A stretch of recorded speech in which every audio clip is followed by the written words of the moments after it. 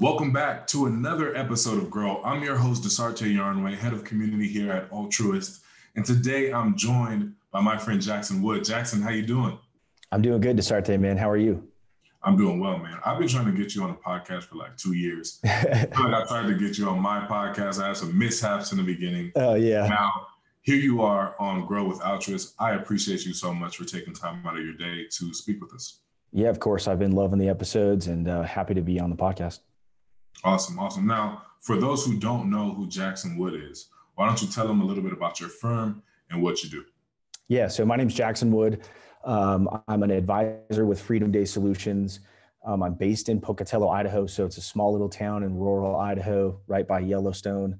Um, but we serve clients all over the all over the nation. Um, I've been in the industry right out of college. Started off at Fidelity Investments and uh, quickly realized I wanted to kind of run it myself.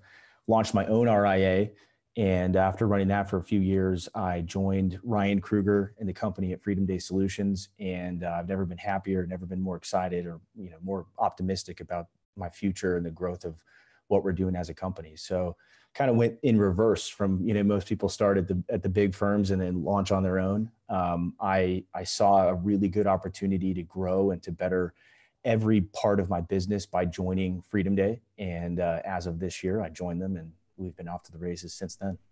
That's awesome, and that's sort of what I, what I want to talk about is that merger with Ryan Krueger and starting Freedom Day. But before we do that, um, I call new advisors entering the space, especially after college or a couple years out of school, emerging advisors. Right? What was that experience like, and how did you grow your firm um, at such a young age? Yeah, so that was that was probably the hardest part of of the entire transition. I started off at Fidelity, and you're not allowed to take any clients from Fidelity, and I, I, obviously didn't take any that I had met at Fidelity.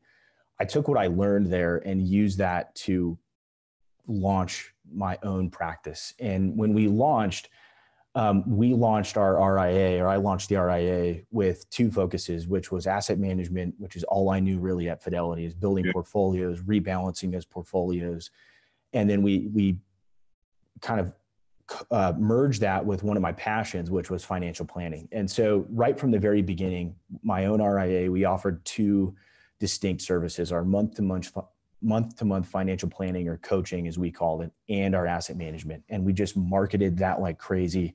We used Instagram, we used Facebook, we used word of mouth. I mean, we grew the practice pretty much exclusively on Instagram, um, and and just ran with it. We we focused on what was working for us, which you know was being authentic, being real, telling our story, telling stories of our clients anonymously. Hopefully, that can change at some point in the future with the some of the regulations changing, um, and that just attracted you know client after client, and we found just amazing success. We you know we asked clients for referrals and really just kind of grew the practice from literally nothing over the course of a few years to something that we were really proud of. I had a partner with with that firm, and um, it, you know it was it was really tough. But having that experience of building portfolios and, and what Fidelity taught me kind of was crucial in launching my own firm.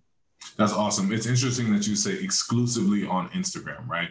Yeah. We have advisors saying, and one thing that I'm super passionate about is amplifying the voice of myself, my firm, but also having advisors amplify their voices, right? Yeah. Because in this saturated marketplace, you are the only unique thing, right? It's going to be your voice, your thought leadership. How did you leverage Instagram to amplify your voice? I'm interested in that. Yeah, so Instagram has a lot of really amazing tools. Um, it's probably my favorite platform for storytelling, for teaching, uh, for reaching out. It's got a lot of really good features. So what we would do is we started, and we're still doing this to this day. We started this mini series on Instagram TV where we would just create evergreen content. You know, it wasn't news, it wasn't talking about market events or anything like that. It was five to 10 minute video clips, videos of just me teaching people, hey, what's a Roth IRA? Hey, should I pay my mortgage off early? Hey, what is the deal with credit cards? what about investment allocation or asset allocation what do i you know we just every week we would release a video and then we would release stories and we would release posts and we would link and have swipe ups to blog posts on our website and you know i realized that people are glued to their phones. And I don't know, it's probably a bad thing they're glued to their phones, but if they've got the device in their hand, they're probably on Facebook or on Instagram or some sort of social media. And so instead of trying to direct them to our website or email them, or we just said, look, we're going to go to where they are. We know they're on these platforms and we're going to tell a unique story. We're going to differentiate ourselves from other marketing by being real and authentic and vulnerable and transparent. And we're going to say, look, if you want this to happen in your life, send us a DM, send me an email, swipe up and get on my calendar. And uh, that worked better than I thought that it would. You know, it helped to have a little bit of a social media following in advance. Um, but it, it really just spoke to people. And, and the principle there was instead of trying to move people to one platform or some other platform or to email, just go to where they are, right? They're all on Instagram. I saw my wife, she was on Instagram. She, you know, and so that worked, right? And that's how we built the firm. That's awesome. One of the cool things that I see on your kind of Twitter description is that you're the co-founder of the Wood family, right? yeah. Family has like an Instagram or a YouTube channel that you use, right? So you probably were skilled in the area of social media just beforehand, right? And that kind of transferred into building your business. Now, for the advisor that isn't that skilled at this, what steps or what recommendations would you give them so that they can amplify their voice? it's it's all about consistency. Um, you know, you, have got to obviously learn the SEO and the background, and and Taylor Schulte is a fantastic resource for that. I mean, he just put on the most incredible conference with Kitces.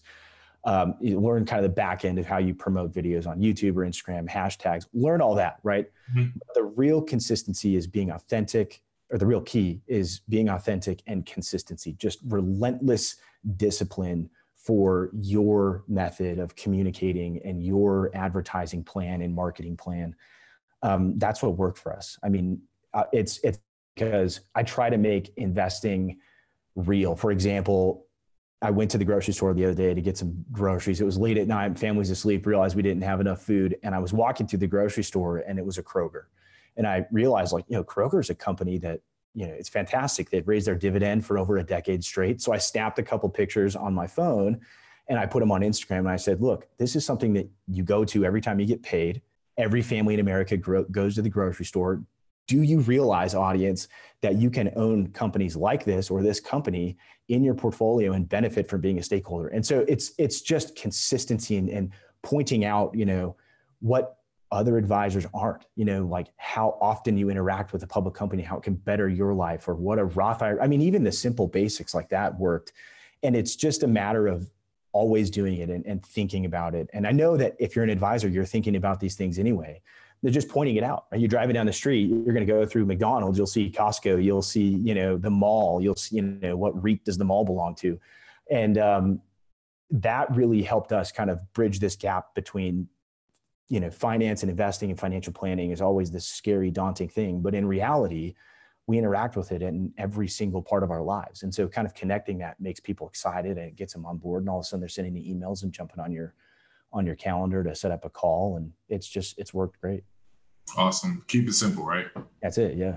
And i think that the advisors that keep it simple do the best. Now for the main topic of our conversation right? You recently merged your firm. A lot of advisors are thinking about one going independent or two merging their firms. What was that experience like for you? It has been absolutely incredible. Um, Ryan Krueger and his partner Mike Catalano. I, have been reading Ryan's blog for years and, and bugging him every time he would post something of what it meant and asking him questions. And he gracious, graciously answered every single one of my questions for years. And I realized that there was this level of expertise that he had with asset management and this structure that they have built with their firm that I wanted to elevate my practice to. And graciously, I got a seat on the roster, a seat on the bench. Um, Freedom Day Solutions was born, and you know everything kind of migrated over. It's been absolutely incredible.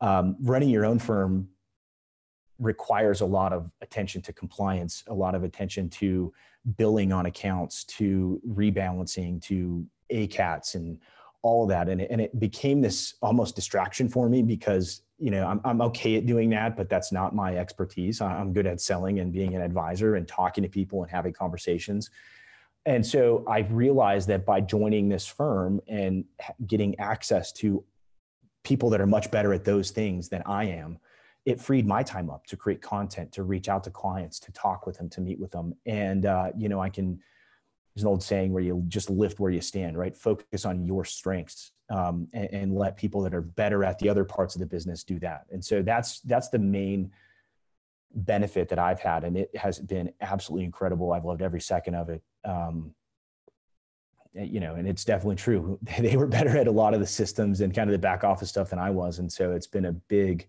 big relief for me. And, and the team is just awesome. That's awesome. You know, in my, in my first job in financial services, the CEO of that very, very large company used to say that the best CEOs are great quitters. And I walked around trying to figure out what that meant. Like, hey, I don't think you would have gotten here if you were a quitter.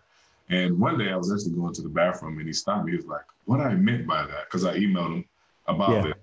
What I meant by that is that as you scale your firm, as you reach new heights, what you're supposed to do is delegate the tasks that you aren't so good at to people who specialize in these things. And by quitting these tasks, right, you're ultimately elevating your firm to new levels. So essentially, that's what you did by joining Freedom Day. Um, let's talk about a little bit about the logistics, though. Like, what does it actually yeah. look like, right? Moving clients and then incorporating. Uh, so for anybody watching that may be thinking about making a move like this, they can. Yeah. So the, I mean, and the concept works in reverse as well. If you're with a big firm and you're launching your own, just kind of the process of going from one firm to another. Um, I underestimated how long it would take, and I underestimated how complicated it was going to be.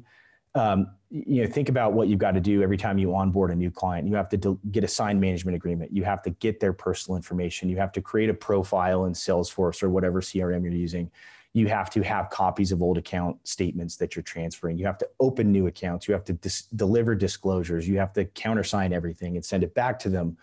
Um, it took a, a lot of time and energy. It took me three months. I'm actually not even done with it yet. I've, I've done, you know, probably 95% of the transition, scheduling clients to come to the new space. Um, you know, it's a very, very complex process. I had a really good team behind me. Our compliance officer and COO is fantastic. Um, so it was you know organized. I knew what I needed, but leading up to it, it, it, took a couple months of preparation, and then you actually leave. You go on broker check, you see that everything is moved over. At that point, you can start actually transitioning stuff. Um, it, it was complicated. Took a lot of time, a lot of energy, a lot of sleepless nights.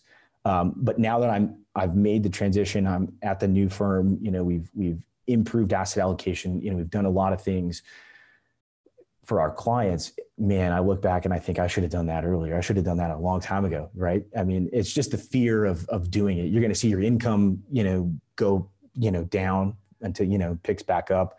Sometimes it might not even pick back up if you're just leaving and taking a couple clients with you, and that you've got to face that challenge too. It's a psychological battle, an emotional battle, but it is 100% worth it. Not only for my practice and my future, but for the improvement it made for my clients. That's awesome, and I'm glad you addressed it. You addressed that um, kind of mental battle that advisors have. We have a series here with our C uh, CCO, Chief of Compliance, Mazi. It's called Going Independent, and he talks about that all the time. And advisors, once they can kind of get past that mental hurdle, then the world kind of opens up to them in terms of the possibilities they can have with the, designing their best firm. Yeah, um, I I agree with that. It's a scary you got kids, you got responsibilities, you got bills, you know, you got, you don't want to, you have to kind of like protect your ego and say, look, I'm going to not make a ton of money for like the next couple quarters or whatever it is. Or, you know, you got to get all that out of there and just, it is absolutely worth it um, to put yourself in the best situation for your own growth, for the growth of your clients. It's absolutely worth every challenge that comes with it. Jackson, what's your best growth hack for the advisor that's watching today? What advice would you give them as they try to scale their firm like you are? So I've, I've got two. My, my favorite one is relatively simple. Um, I tell every one of my clients or my families that I serve, that I work for, that I love working for them. I tell them honestly. I write them a letter and say, you know what? I really enjoy working with you. If you know anybody that you know could use financial planning or asset management, if they're friends of yours, they're part of our family. And just asking for referrals. I know that that is probably an answer that a lot of people give, but that has been tremendous. You know, clients love that you tell them, "Hey, I've loved working for you. I love serving you, client and family. You're part of our family." Um, and that has just been a really good source of you know leads and, and new opportunities for for me and for the firm.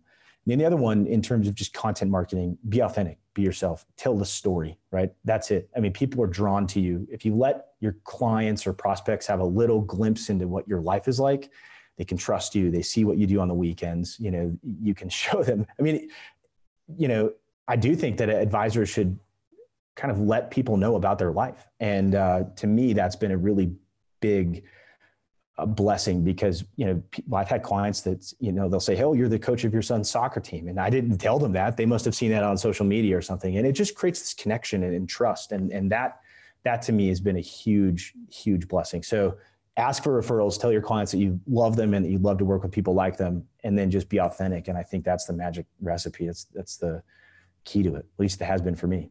That's awesome, Jackson. Now, for the advisor watching that wants to follow everything you're doing, where can they do so? so I'm on Instagram and Twitter mostly uh, at Jackson Wood HQ is my handle. I'm on LinkedIn. I think I have like five connections on there. I when I joined Ryan and Freedom at Freedom Day, he said, "Hey, um, it's the first platform I have more followers than you on," and so he's kind of schooling me on LinkedIn. I'm there. I'd love to make professional connections there, just kind of grow my network there. Um, yeah, Jackson Wood is LinkedIn and at Jackson Wood HQ on on Twitter and Instagram. Jackson, thank you again for joining me. And thank you all for watching. To subscribe to our network, feel free to visit altruist.com slash grow and make sure to follow us on Facebook, Instagram, Twitter, and YouTube. I'm your host, Dasarte Yarnway, and we'll see you here again soon.